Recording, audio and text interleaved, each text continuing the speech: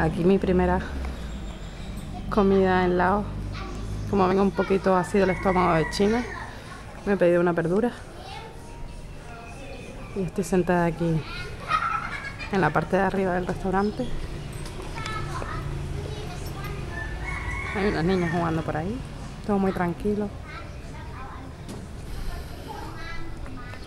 Y ahí es donde me estoy quedando. En la parte de arriba.